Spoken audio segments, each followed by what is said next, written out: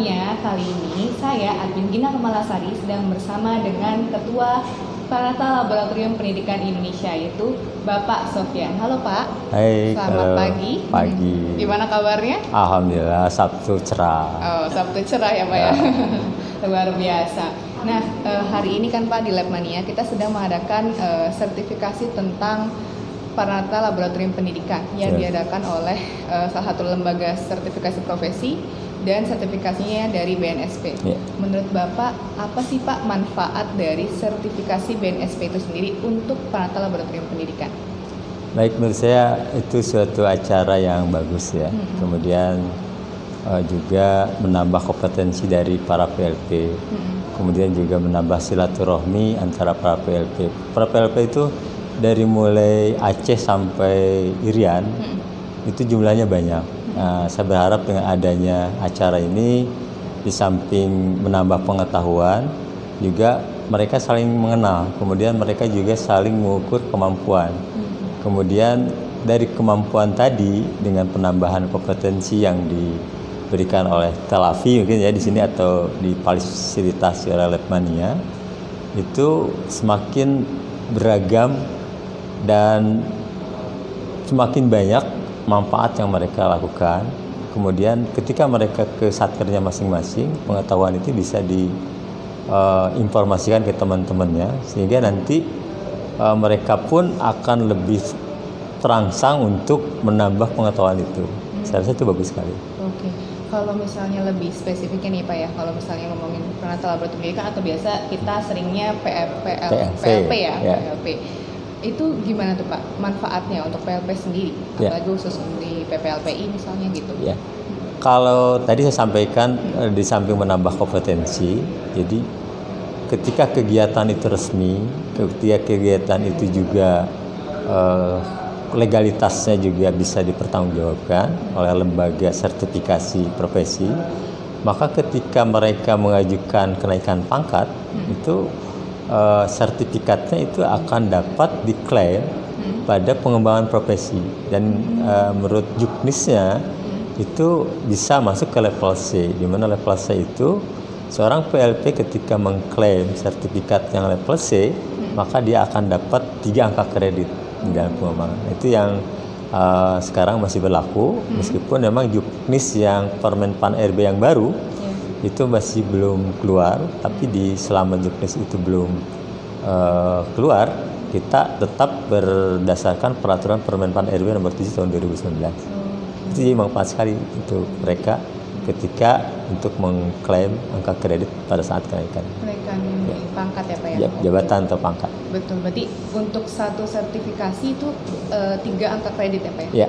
Oh, Dan itu eh, eh, sertifikasi kompetensinya personal. Betul. Berarti memang untuk eh, alih kreditnya per personal ya Pak ya? Ya personal. Oke. Berarti mungkin untuk naik jabatan butuh dua sertifikasi apa minimal? Ah, tergantung jenjangnya. Jadi Tergantung jenjang jenjangnya. jenjang PLP kan ada eh, dua kategori utama yaitu keterampilan dan keahlian. Nah, keterampilan dibagi eh, tiga jenjang jabatan.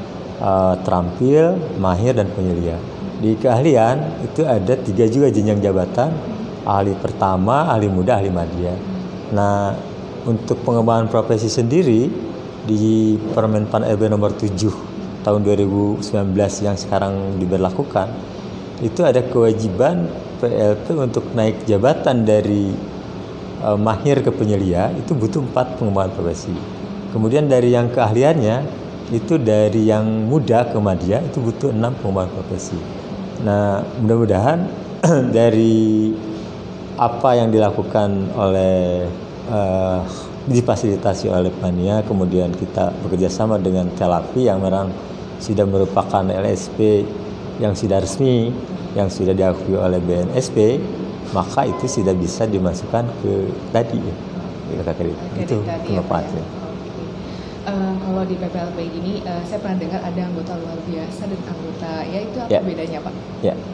Baik di PPLPI ke keanggotaan memang dibagi dua, bahkan sekarang kita tiga, tapi di ADRT-nya masih dua, yaitu anggota biasa, Mm-mm. itu mereka yang sudah di PLP dan dalam tanda kutip bahwa mereka itu sudah PNS ya kalau PLP. Tapi di samping PLP yang sudah PNS atau katakan kalau orang sudah bilang PLP itu sudah pasti PNS. Banyak juga eh, teknisi-teknisi lab yang bekerja yang belum PNS. Nah ini terutama di perguruan tinggi swasta itu banyak. ya. Bahkan di perguruan tinggi eh, level Unpad gitu ya itu banyak juga yang dia belum PNS tapi tupoksinya sudah PLP. Nah bagi mereka yang belum PNS dan belum PLP itu berhak menjadi anggota profesi eh, keanggotaan kita itu menjadi anggota luar biasa. Nah itu manfaatnya banyak ya. Jadi kalau kita eh, ada kegiatan gitu, ketika teman-teman yang sudah bekerja di lab itu butuh informasi baik eh, pelatihan, kemudian ada acara diklat dan sebagainya, mereka akan tahu informasi itu. Karena kita ada ada eh, Facebooknya juga, ada WA-nya juga gitu. Jadi manfaatnya akan banyak sehingga nanti pengembangan karirnya mereka akan bisa mengikuti gitu. Jadi menurut saya eh, manfaat banyak kalau mereka pun belum PLP jadi anggota luar biasa. Oke, jadi seperti Oke, gini Pak. Jadi banyak teman-teman dari Labmania itu menanyakan apa sih bedanya uji kompetensi dari Dikti dengan uji kompetensi dari BNSP gitu Ah, baik ini ya. Jadi kalau uji kompetensi dari eh, BNSP seperti yang diselenggarakan oleh eh, Labmania dan Telavi LSP itu adalah eh, uji kompetensi personal. Nah, uji kompetensi personal ini nanti ketika teman PLP sudah dapat sertifikat itu bisa diajukan ke tim penilai angka kredit untuk diklaim pada pengembangan profesi. Sehingga nanti eh, tim penilai akan melihat eh, apakah ini memang eh, masuk ke dalam pengembangan profesi atau tidak. Tetapi kalau di dalam juknis yang lama ini masuk ke dalam tadi yang pernah saya sampaikan bahwa ini masuk ke dalam level C dapat tiga angka kredit. Nah itu hanya di eh, untuk mengklaim angka kredit. Tapi kalau yang dikti, yang uji kompetensi dikti itu ada tiga uji kompetensi. Jadi uji kompetensi manajerial, sosiokultural, dan uji kompetensi teknis. Nah ini berguna untuk kenaikan jabatan. Jadi akan beda sekali dengan yang tadi. Kalau BNSP itu hanya personal, itu nanti manfaatnya untuk mengklaim angka kredit. Kalau dikti itu adalah untuk kenaikan jabatan. Seorang yang akan naik jabatan maka harus lulus tiga uji kompetensi tadi. Dan uji kompetensi tadi itu eh, soalnya nanti itu bukan hanya dikti, itu bisa dari eh, permen eh, RB ya, Kementerian eh, RB, kemudian juga dari BKN karena ada manajerialnya, ada sosiokultural. Jadi itu bedanya. Jadi personal dengan kenaikan jabatan. Intinya itu. Oke, eh, cukup kali ini untuk wawancara hari ini. Terima kasih Pak Sofyan. Baik. Sampai bertemu di video selanjutnya. Jangan lupa like, share, dan subscribe channel kita. Dadah, salam Lemania.